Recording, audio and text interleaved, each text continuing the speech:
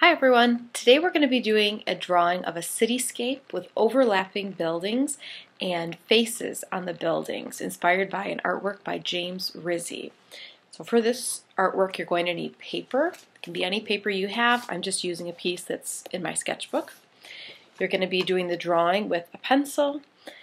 You could use a black marker or permanent marker to trace your pencil lines if you want to make them a little bit darker or a dark colored crayon would work too and then you're going to be coloring in your buildings and that can be done with whatever you have as well. So I'm going to be using crayons and markers, a combination of both, to color. You could also use paint, colored pencil, chalk, oil pastels, um, whatever you have. All right, so I said that our buildings in our city are going to be overlapping. So what does that mean when things are overlapping? If I hold my markers and my crayons next to each other like this, they're not overlapping. They're just next to each other. But if I move them so one is a little bit in front of the other or blocking part of it, so my crayons are in front of my markers and they're blocking this back corner, that's overlapping. If I have them like this, that's still overlapping. Over here, overlapping. I could put the markers in front. Since you can't see part of this object, it means they're overlapping, one's in front of the other. So some of our buildings are going to be in the front and some are going to be behind, um, is what we're going to try and show. So starting on my paper, when you start your overlapping buildings, it's much easier to start with the buildings in the front row. So those would be at the very bottom, buildings that are um, closest to us and maybe a little bit shorter than the other ones. So for this, you're going to be using your pencil However, I'm going to do it with marker first just so it's easier for you to see because it'll be a little bit darker with my marker. All right. Down. All right, so I'm starting with my buildings at the very bottom. Doesn't really matter where I start along the bottom, but I'm going to have my marker or pencil, whatever you're using, start at the bottom. I'm not going to come all the way to the top because I do want to leave space for those buildings that are behind it. Maybe my first building is just a rectangle. I know when I go see um, buildings in the city, I see a lot of skyscrapers that are this shape. That's a pretty easy shape to draw. You could make all your buildings that shape if you want. I like to mix it up a little bit and have different shapes though. Alright, so I'm still working on this first row. Maybe my next building I'll have come to a point and back down. I could do a building that is round on the top. You could even make a building that's your own shape, right? I've never seen a building this shape, but it'd be pretty cool if there was one like that. Remember, you're the artist, so you can design your buildings to look however you want. All right, so my first row of buildings are not overlapping. They're just next to each other. But now I'm ready to start my second row and I'm going to have buildings that go behind this first row so that they will be overlapping. So I'm going to start my next building right in the center of this one. Maybe I'll have this be a building that comes up to a point. Oh, and then it goes off the edge of my paper. Now I know this building doesn't just stop right here, right? That would be a floating building. And while that would be cool, that doesn't exist. Um, I know this building does go behind the other one. Behind the other one. But because this building is not see-through or transparent, I can't see the rest of this building going behind it. Kind of like when I was holding my markers or my crayons in front of my markers like this. I know this marker box has a corner, but when I'm holding something in front of it, you can't see it. That's kind of like what our buildings are doing right now. So I'm going to start my next building. Maybe I'll start it right here on this one too. Maybe this will have kind of a crazy shape building. And then once I hit one of those lower buildings, I'm going to stop because I know the line would keep going, but I don't want to go through that building because um, that would make it look see-through. All right, let's try the next one. Sometimes I see buildings, it's hard to draw upside down, um, that have this shape I like to imagine they're like stairs for a giant. And maybe I'll do another just plain rectangle. I stop when I get to another building, even though I know it keeps going. I think I can fit one more. We'll just do another rectangle that goes off the edge of the paper. Now I've got a little bit more space here. I could make a third row of buildings if I want, or I could draw uh, maybe some details in the sky, like clouds, stars, snow, rain, a rainbow, moon, um, anything that would be in the sky. I think I'm going to add two more buildings, and then I can do some sky details. Maybe I'll do another here. So I'm starting at the top of one of the buildings, create my top. I'm going to go back down and stop when I get to another building. I think I'll fit one more right here. Let's see. I'll do another pointed shape. Come up and then back down. All right, I think that's plenty of building. So now I'm going to start the details. On each of these buildings, you can add different details. James Rizzi had faces on a lot of his buildings in the painting um, that I'll put on the blog and on iLearn. You can put faces on yours. I'm going to do that on some of my buildings, but not all of them. I can also do different window designs. I could do signs on the building. Um, I know last year when we did this, some people put signs to show what type of building it was, like if it was a hospital or a school or a store. Um, you could also put doors. There's lots of other details you could draw. I'm going to start with some of the faces. Um, I'm drawing this upside down, so I hope this works. I'm going to start with this one. This is kind of like a window shape could have that be windows, but I'm going to have that be eyes. I just did an over the hill line. I'm going to color it in except for a little spot. Same thing on this one. Maybe I'll do a triangle nose, and this will be a happy building. Maybe you can see a little bit of the tongue. All right, let's add some eyebrows too.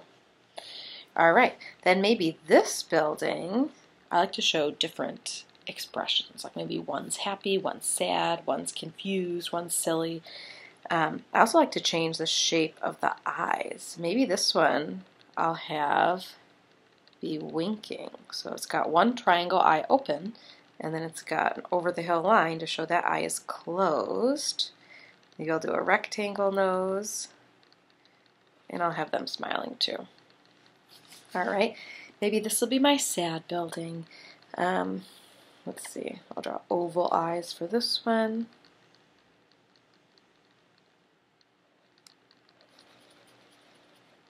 Circle inside. And maybe a tear coming down. That's sad building. Oh, he kind of looks worried too.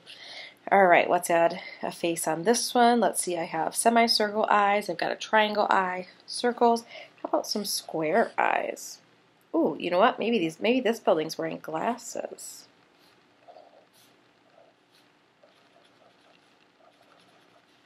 I'll do a circle nose. And maybe this one will be surprise. Like, oh my goodness. And I'll put his eyebrows way up here. Like how when you're surprised, you go like that. All right, let's see. I'll add one more face for now. I can add the rest later. Um, I'm notice I'm trying to make all my faces different. You don't have to do it this way. I just like them all to look different. Um, maybe I'll do heart-shaped eyes. Kind of reminds me of the heart eye emoji. If it's got heart eyes, I feel like it should probably be smiling. Maybe I'll put some eyelashes on there too. Maybe a heart nose. All right, so next I would go finish adding faces to the rest of the buildings, but I'm going to do that later. You probably don't want to watch me add that many faces. So now I'm going to go in and add some windows to each of my buildings. This is another thing I like to make it a little bit different on each building. So one might have squares going across. One, I might do long rectangles maybe one I do um, instead of windows. Have you ever seen buildings that kind of have these lines on them? I guess those could be all windows too.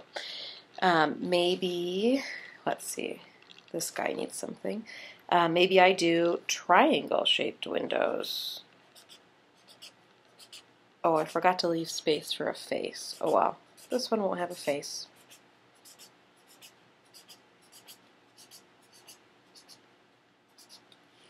I could do circle-shaped windows. Maybe this one has lots of little circle windows. If you can still see that.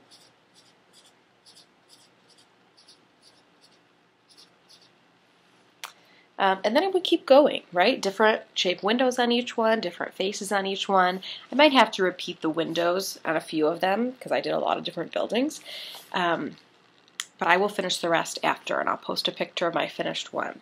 So step one was to draw the buildings. Step two, I added faces to the buildings. Step three, to add windows. If you've done this all in pencil, you might want to move on for the next step to trace it all in marker. Now remember, I did mine in marker first, but that was just so you could see it a little better.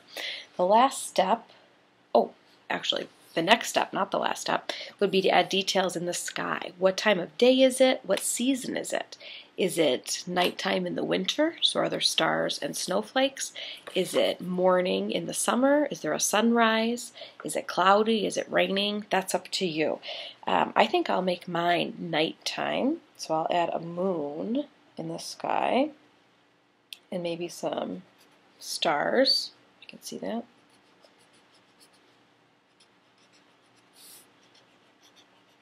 And when I color it, I'll color the sky a dark color, like black or purple or really dark blue. But I'll leave the stars white. So it looks like nighttime. All right, now the last step would be to add color. Remember, I'm using crayons and markers to add color, uh, but you can choose whatever you would like. I'm only going to color one of my buildings right now. You don't need to see me color all of them, but I will post a picture of this when it's all colored. So I think I'll color this building right here. So me, I chose orange to start with, so I'm going to add orange windows. You don't have to have the windows be all the same color. You could have them be rainbow colored windows. That would look cool. Or maybe you could do a pattern in your windows. Orange, purple, orange, purple, orange, purple. That'd be a pattern. All right, you know what? Maybe I'll make, can't really see this. Maybe I'll make the nose orange too. All right, I'm going to switch colors because if I have orange windows on an orange building, it's going to be hard to see all my details. So I think I'll switch to this light blue for the other part of my building. Ooh, I like that blue. Almost like a teal. Since I don't want to color over the eyes and over the windows, I usually outline it like this. Kind of helps me stay in the right spot. And then I can color in the larger areas.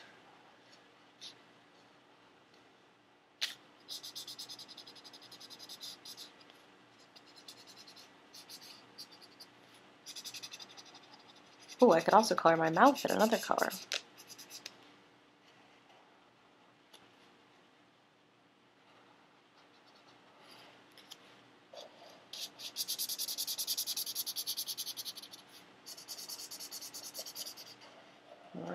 My eyes. I like to leave the big part of the eyes white, um, but you could color them in a different color if you want.